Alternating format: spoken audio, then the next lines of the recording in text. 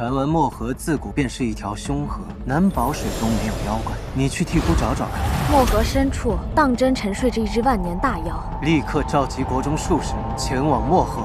圣国国运近了，景国也没什么不好。听说他们军队驻扎在漠河，对战俘流民都很优待呢。你们所说的景国军队具体驻扎在哪里？就劳烦你们照顾好她。姑娘放心，会把她当成亲生女儿对待。从今往后，你就叫月牙了。若你来日想学法术，就拿着这封信去长泽山衡阳宗。我记住了。开始吧。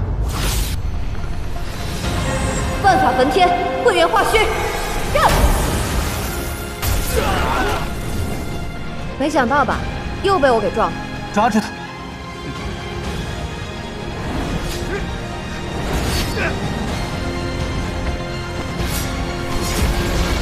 二小姐，你没事吧？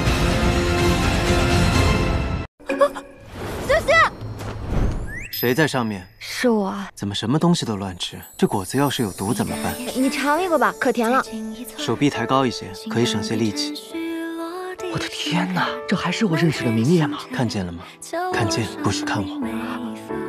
父皇神君怎么也学起继泽来了？桑九小友，此次贸然前来拜访，没有给你带什么礼物，我送你四个字可好？谨记初心。不如我送你一缕神力吧，这缕神力可连接你跟明夜，只要你想，便可跨越时空见到他。所以，那棒金已是这玉清宫的神君夫人了，是吗？看来我昏迷的真是时候，是我为了你挖出了那颗上古冰晶。明夜战神助你去除浊气，不过是怕他人指指戳戳。